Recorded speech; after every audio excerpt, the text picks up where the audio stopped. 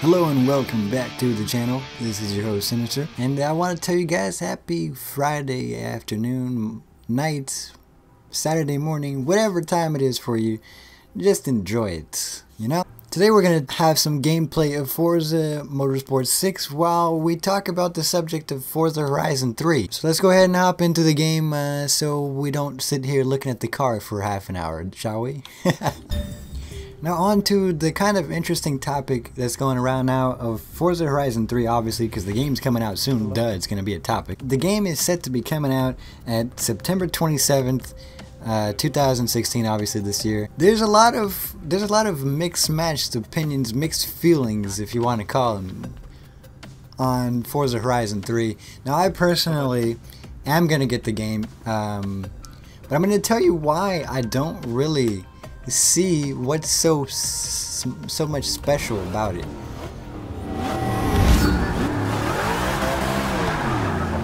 Now, obviously, don't judge me on this uh, drifting that's going to go on here. This is a public lobby, which is very dangerous. I haven't played uh, Forza Motorsport 6 in a while, so this might be bad.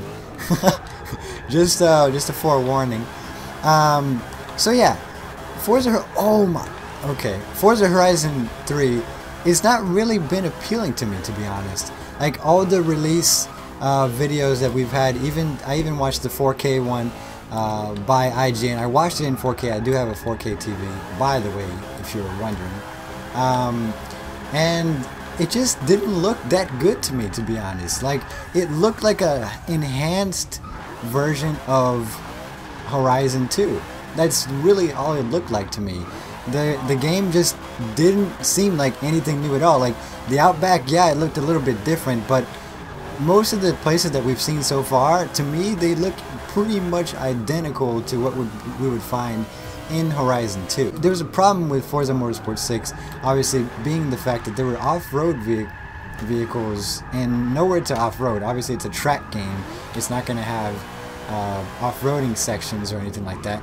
But that game, so far as we've seen, only has mostly off-roading. Now there, there has been some new stuff. I haven't really been keeping up with uh, too many too much new stuff. Uh, you know, obviously people have gotten exclusive uh, access to the game and have been able to play it uh, and get some content on it and so forth.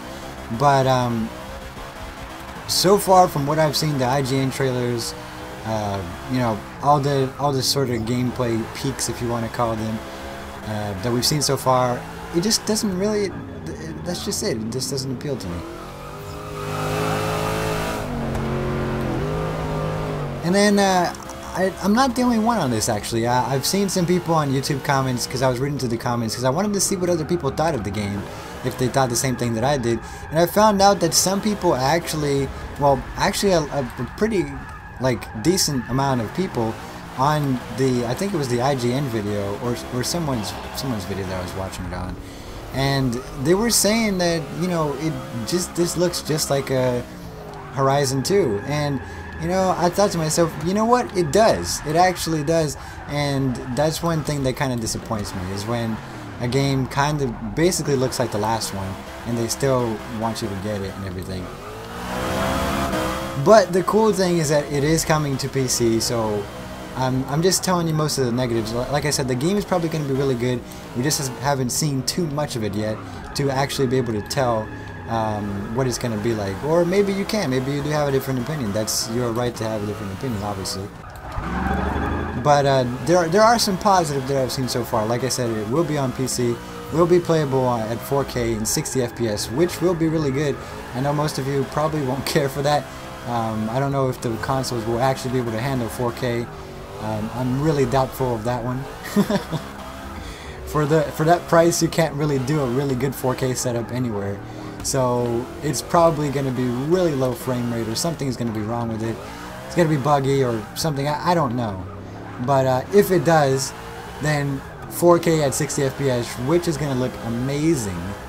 Uh, hopefully, maybe maybe the reason why it didn't look so good in the YouTube videos because YouTube kind of downscales the videos, the videos. So uh, maybe we just wouldn't know.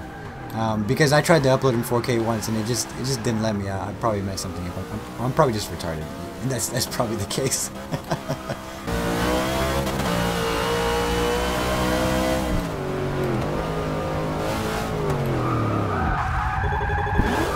But yeah, it's got the typical hype that some people had, you know, and I, have been I've been seeing some some hype that people have, like uh, the certain cars that are that they're putting in, like the the Australian UTEs um, and stuff like that. That those cars really they don't appeal to me. I, they don't really like. They're Australian. Like people that are Australians, like I probably some Australians watching this video right now, and you can probably relate to this. Most of Australians that I've seen so far, they they're they're not really into American cars. You mentioned American cars are like, eh, you know, whatever. That, that that's cool. Uh, but they would rather have either Japanese or cars from their own country. And that's understandable because I really love muscle cars. I mean, I'm drifting in a muscle car right now. I do really love JDM cars and Euro cars as well. Like, a lot of my favorite cars, they're not muscle cars. Um, but I do have a certain bias to muscle cars because being around them and just just the country that I'm from, you know, America, man. You gotta, if you're a real patriot American, you're gonna love muscle cars. uh, it's, just, it's just the way it is, you know. You, you, you the, the, cars from your country, they're gonna be a little bit more special most times than um, than cars from other countries, for a few exceptions as well. Because I've seen some lowriders. They have lowrider events in Japan. I was I was watching a video. I think it was on Twitter and they actually have really nice lowriders there, which is actually surprising. you wouldn't expect really American cars uh, being driven like that and showing up at car shows um, and it being a huge deal. You know, they, those are imports there, so I guess they could be. You know. Well, 13th place, that's pretty sad. Let me know what you guys think of Forza Horizon 3 and if you're getting it and what platform you'll be playing it on. I'm personally will be getting it, uh, if you get it for PC, you also get it for Xbox One, but I'll be playing it probably 90% of the time on my PC. I, will just be completely honest with you guys, console is really dying out to me.